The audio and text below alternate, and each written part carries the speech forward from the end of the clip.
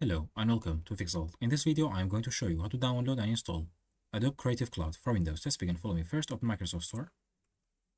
Then search for Adobe Creative Cloud.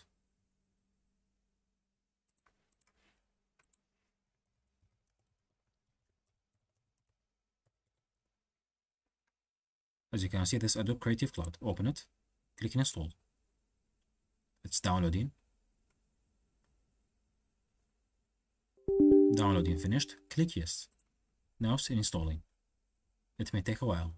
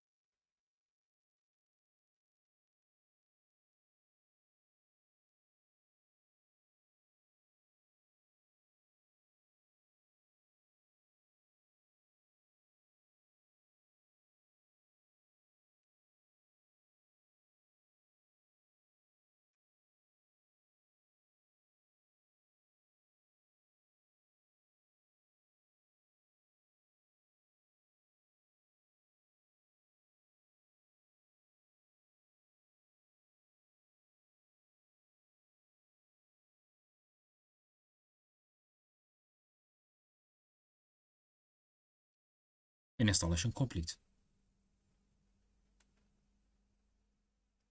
So, this is how to download and install Adobe Creative Cloud for Windows. Thanks for watching.